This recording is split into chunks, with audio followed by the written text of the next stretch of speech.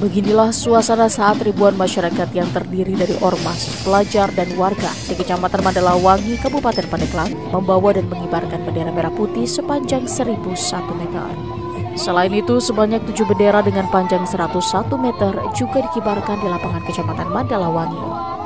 Pengibaran bendera raksasa ini digelar dalam rangka memperingati Hari Kesaktian Pancasila. Salah satu tujuan dari kegiatan ini yakni untuk membangkitkan semangat kebangsaan masyarakat, khususnya di Kabupaten Pandeglang. Selain itu, kegiatan ini juga bertujuan agar masyarakat tetap mengingat jasa para pahlawan, termasuk para pahlawan revolusi.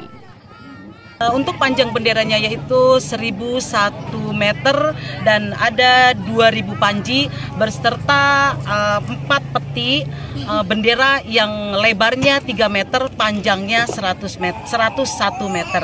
Yang menandakan kenapa 6 peti itu eh 7 peti itu adalah melambangkan dari enam agama dan satu kepercayaan yang alhamdulillah semuanya saling membersamai dan ada di acara kirab bendera merah putih 101 yang ada di lapangan Mandalawangi.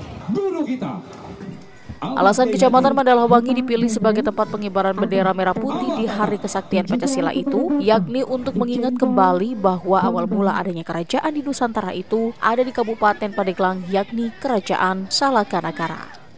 Rencananya kegiatan serupa akan rutin dilakukan setiap tahun sebagai salah satu cara untuk meningkatkan rasa cinta kepada air.